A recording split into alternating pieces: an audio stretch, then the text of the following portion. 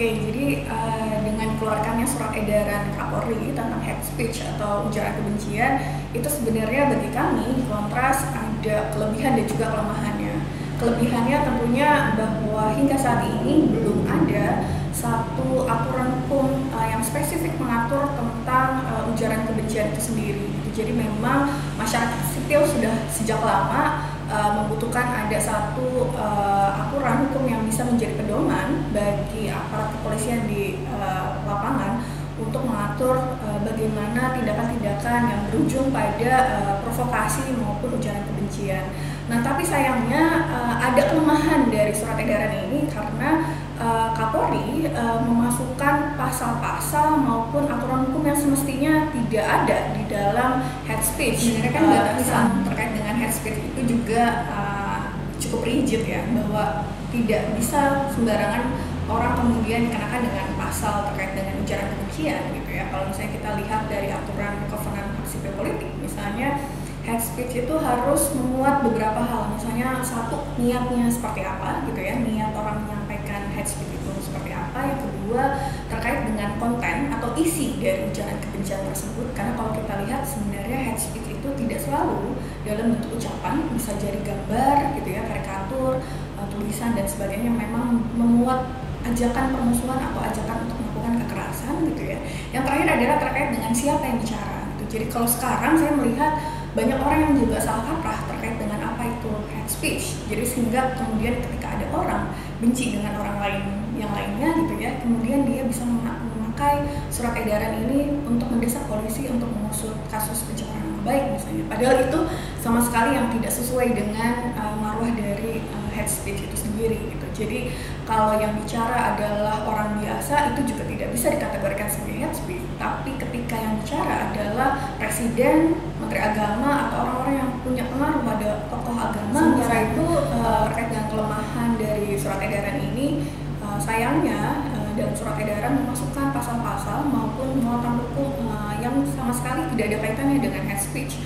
Misalnya pasal tentang perbuatan tidak menyenangkan juga dalam surat edaran ini dimasukkan terkait dengan uh, pencemaran nama baik, penyebaran berita bohong, penghinaan. Yang itu sama sekali jauh dari marwah uh, head speech. Bagaimana yang tertera dalam dari uh, surat edaran tersebut tentunya memiliki dampak yang cukup uh, signifikan di lapangan. Jadi seperti misalnya satu akan ada misinterpretasi. Saya pikir ini bukan akan ada, tapi sudah terjadi misinterpretasi bagi masyarakat.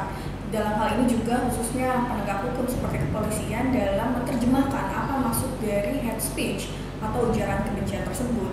Itu karena kemudian orang lebih fokus memakai uh, surat edaran tentang hate speech ini terhadap kasus-kasus yang muatannya hanya sekedar penghinaan, pencemaran nama baik atau defamation gitu. Dan ini harus dipahami bahwa defamation atau pencemaran nama baik adalah dua hal yang berbeda dengan hate speech atau ujaran kebencian gitu ya. Kedua, tentunya dengan salah kaprah dengan pemasukan pasal-pasal yang tidak perlu dalam surat edaran dari surat edaran ini ada tidak ada uh, definisi terkait dengan hate speech itu sendiri. Sehingga hal dikhawatirkan ketiadaan definisi tersebut akan mempersulit anggota-anggota kepolisian sebenarnya ketika di lapangan Uh, jadi seperti misalnya akan berdampak banyak hal. Satu soal uh, misinterpretasi uh, apa itu yang dimaksud dengan hate speech atau ujaran kebencian gitu ya. Karena kemudian sekarang ini lebih banyak orang menggunakan surat edaran ini guna mengkriminalisasi seseorang dengan alasan misalnya menuliskan sesuatu di sosmed dan itu mencemarkan nama baik seseorang.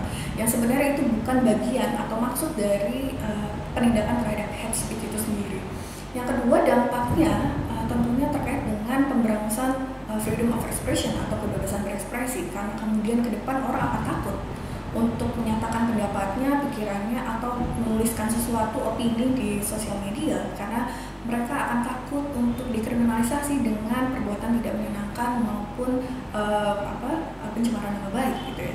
Dan yang lain adalah ini akan menjadi satu uh, saya pikir kehilangan marwah dari uh, surat edaran terkait dengan head speech itu sendiri.